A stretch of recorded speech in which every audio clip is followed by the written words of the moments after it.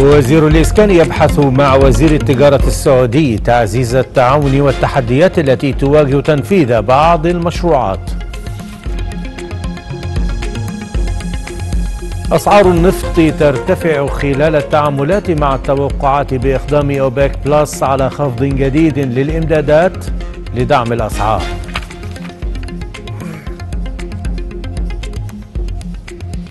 السعودية والصين توقعان اتفاقية لمدة ثلاث سنوات بمقايضة عملات ثنائية بقيمة الخمسين مليار يوان.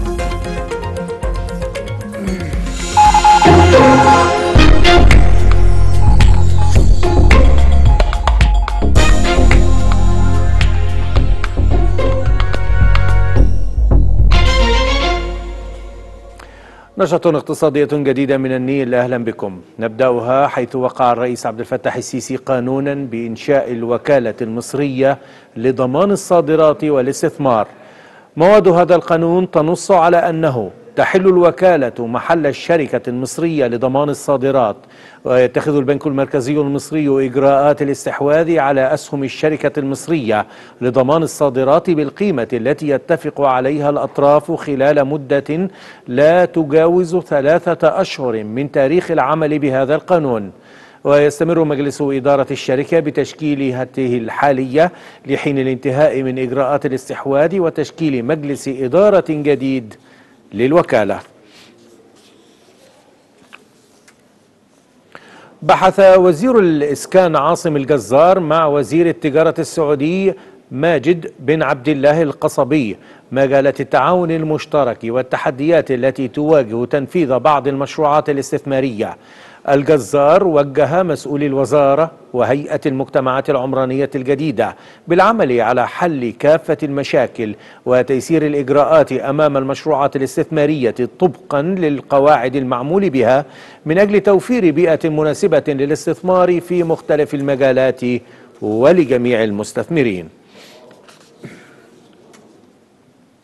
أعلن المجلس التصديري للصناعات الهندسية إطلاق بعثة تجارية إلى السعودية خلال الفترة من التاسع إلى الخامس عشر من ديسمبر المقبل بالتعاون مع مشروع تطوير التجارة وتنمية الصادرات الممول من الوكالة الأمريكية للتنمية الدولية. المجلس أشار إلى أن البعثة تشمل قطاعات الأجهزة المنزلية والكهربائية وتشغيل المعادن وأدوات المائدة والمطبخ ومكونات السيارات ووسائل النقل والطلمبات والمحركات وآلات ومعدات الصناعية والصناعات الكهربائية. كما ذكر المجلس أن البعثة التجارية ستشهد مشاركة 14 شركة من أجل استمرار زيادة الصادرات المحققة خلال عام 2023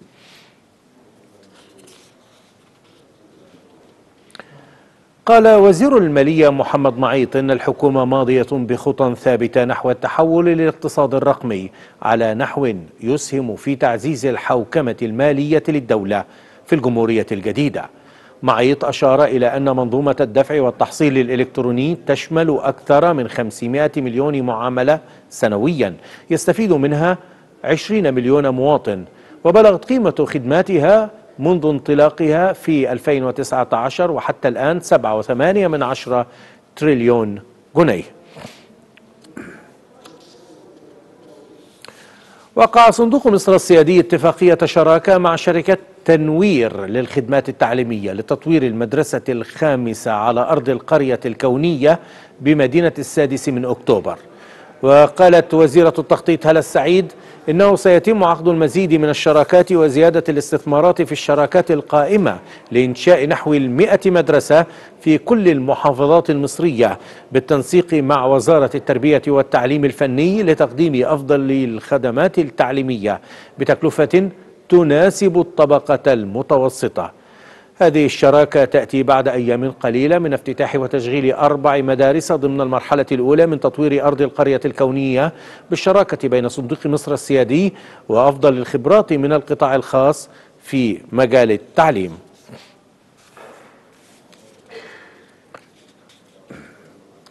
وجه وزير الري هاني سويلم بإعداد تطبيق رقمي يتضمن خطة زمنية لأعمال التطهير الجارية والمستقبلية. بكافة المصارف الزراعية لإمكان متابعة أعمال التطهير ومدى الالتزام بالبرنامج الزمني من عدمه. واستعرض الوزير خلال الاجتماع خلال اجتماع عقده مع عدد من قيادات الوزارة أبرز أعمال وأنشطة الهيئة المصرية العامة لمشروعات الصرف وموقف مشروعات الصرف المغطى والمستهدف خلال الفترة القادمة. فضلا عن جهود هيئة الصرف في إنشاء وصيانة شبكة الصرف الزراعي والتي تمتد بأطوال تصل إلى 22 ألف كيلومتر. أكدت وزارة وأكد وزير الزراعة السيد القصير أن تغير المناخ يمثل تهديدا وجوديا للكثير من الدول والمجتمعات على نحو لم يعد من الممكن معه تأجيل تنفيذ التعهدات والالتزامات ذات الصلة بالمناخ.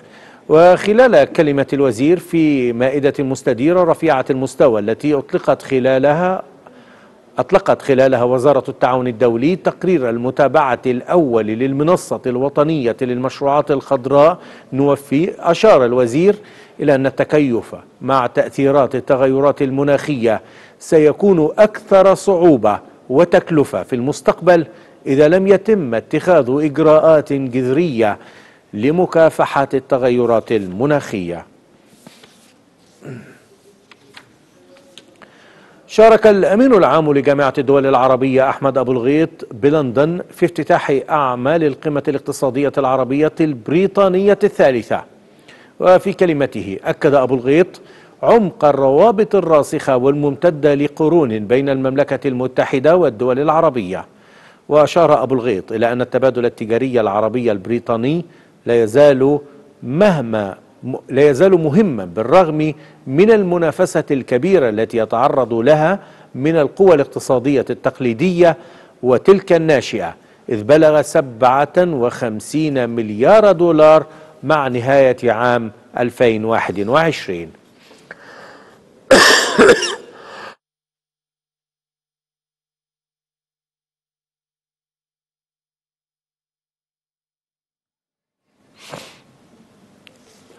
ننتقل إلى أسواق البترول العالمية حيث ارتفعت العقود الآجلة للنفط لتواصل مكاسبها بناء على توقعات بتخفيض مجموعة أوبك بلس الإمدادات على نحو أكبر لدعم الأسعار.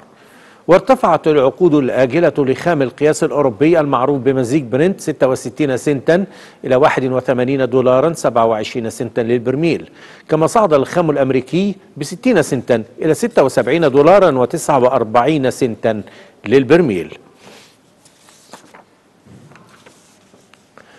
في أسواق المعادن النفيسة ارتفعت أسعار الذهب مع مواصلة الدولار لخسائره بعد أن عززت بيانات اقتصادية. صدرت مؤخرا في الولايات المتحدة عززت الرهانات على انتهاء المجلس الاحتياطي الاتحادي من دورته لرفع الفائدة.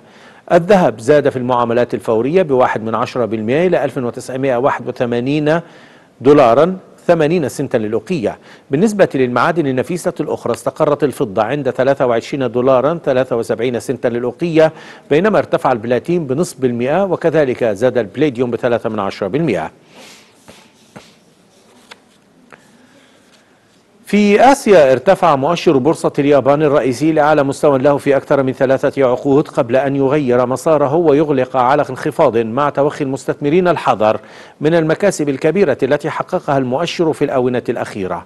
وانخفض مؤشر نيكي الياباني ب 59 من 100% وغير المؤشر التوبكس الأوسع نطاقا مساره أيضا لينخفض ب 77 من 100% من قيمته. وقع البنكان المركزيان في كل من السعودية والصين اتفاقية لمدة ثلاث سنوات لمقايضة عملات ثنائية. وأشار بيان إلى أن الاتفاق الذي تصل قيمته إلى 50 مليار يوان أو 26 مليار ريال سعودي سيساعد على تعزيز التعاون المالي بين البلدين والتوسع في استخدام العملات المحلية وتعزيز التجارة والاستثمار.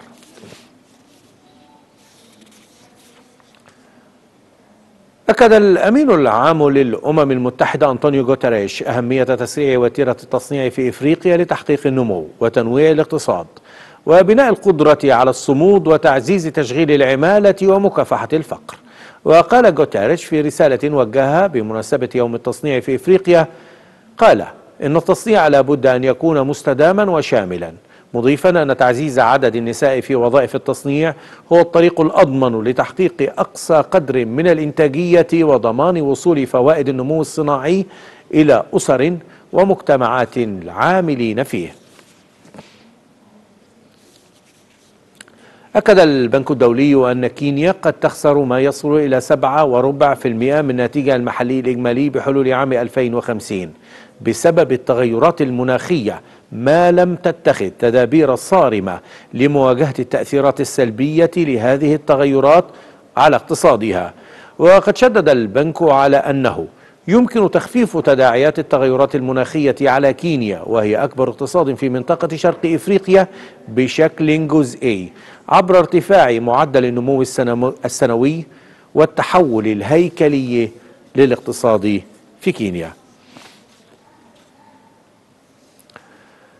أعلنت شركة تيبكو المشغلة لمحطة فوكوشيما اليابانية الانتهاء من المرحلة الثالثة من عملية تصريف المياه المعالجة من محطة فوكوشيما دايتشي للطاقة النووية في البحر مع التخطيط لمرحلة أخرى في السنة المالية الحالية كما هو الحال في المراحل السابقة. أطلقت شركة طوكيو للطاقة الكهربائية القابضة نحو 7800 طن من المياه المعالجة على بعد حوالي كيلو متر واحدا من قبالة الساحل عبر نفق تحت الماء وذلك اعتبارا من الثاني من نوفمبر.